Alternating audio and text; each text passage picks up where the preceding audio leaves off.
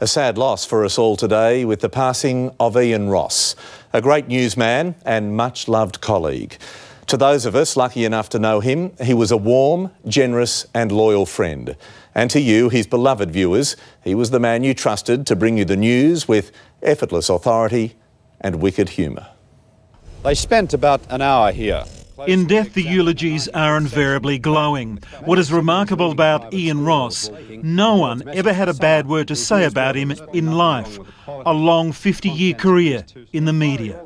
I think because of the man, because his humour, because he was warm, he was unassuming. He didn't, um, he didn't put on turns or anything. Roscoe was an endangered species in an industry which can be less than generous. He was mischievous, he could be wicked on occasions, but always lovable. Today's hearing began with Mr. Belanto QC seeking permission. Roscoe spent 37 years at Channel 9, the black and white days, one of the first on the road reporters. Ian Ross reporting from Central Court. To colour when white suits were the rage. If you think he still looks great now, check him out then.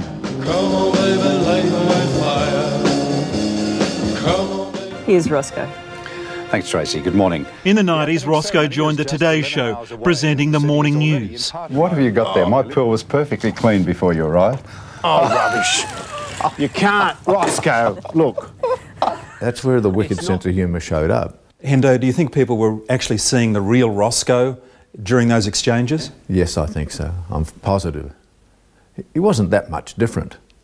That, that Roscoe that was on the morning show was pretty much the Roscoe that was, uh, was wandering around.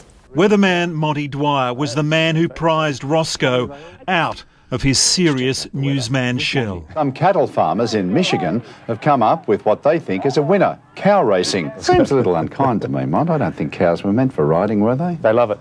No, they really do enjoy it. Yeah. They let you know, did they? Yeah, yeah. they enjoyed it? Mm. Have you ever When- ridden a cow? I have, as a matter of fact, a couple of It's funny, they always stand. Behind that facade, and I'll, I'll call it a facade, was a very, very wicked sense of humour. And that's what we enjoyed working with him. At any given opportunity, he'd jump on something and make you laugh. He was a very funny man. Host at the time was Steve Liebmann. You know, in television, you can't fake it because the audience isn't foolish and they'll spot a, they'll spot a fake. And we just clicked. Thank you very much. When Roscoe left the Today Show for Channel 7, a member of the family was leaving home. It's been the best 11 years in my working life, and I love you all. I'm going to miss you very, very much. Good evening. He led Channel 7 News to ratings gold, leaving after six years. In December, Roscoe was diagnosed with pancreatic cancer. In February this year, his last visit to Sydney, a lunch with some old mates, including Nine's long-time newsreader, Brian Henderson. How did he appear to you? Just his normal self. I just take my hat off to him for that. That was so great. He handled that. Handled, if you handled news of your imminent death with aplomb, he certainly did. Former Nine reporter Barry Matheson first met Roscoe in the 60s as they banged out scripts on their typewriters. He never once complained, even though he knew he was dying.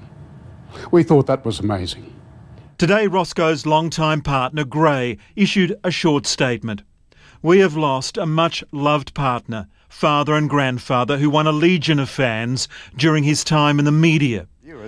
Roscoe was in tears when he delivered his last sign off. I wish you all good luck and good health. So I'm Ian Ross, and for the final time, thanks for your company. Good night. Now, it's good night and thanks to TV's good guy. Mark Burrows, Nine News. All of you and all of us will miss Roscoe very much. Here's Sylvia with the weather. Thank you, Pete. This morning's rain was a